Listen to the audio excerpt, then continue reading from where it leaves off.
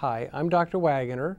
I'm the section head of the Division of Gynecologic Oncology at the University Hospitals Ireland Cancer Center, now the UH Seidman Cancer Center. I'd like to tell you a little bit about what my division can do for you. Our Division of Gynecologic Oncology utilizes a very effective team approach in the care of women with gynecologic cancers, or even in the case of women who suspect they may have a gynecologic cancer. This team will include gynecologic oncologists, nurse specialists, social workers, and a variety of other helpers who will work with us to develop a customized treatment plan for you. Women uh, seen at the University Hospital Seidman Cancer Center will be offered state-of-the-art treatment geared specifically to their unique problem.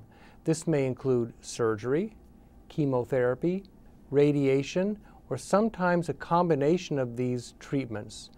I can assure you that for each woman, a customized treatment plan will be developed to help ensure the best outcome. Patients seen in the Division of Gynecologic Oncology can be assured that they will be the center of all we do.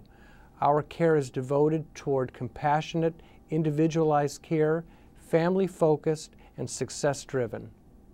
If you or a loved one feel that you can be helped by our team, please give us a call today so that you can learn how we can assist you.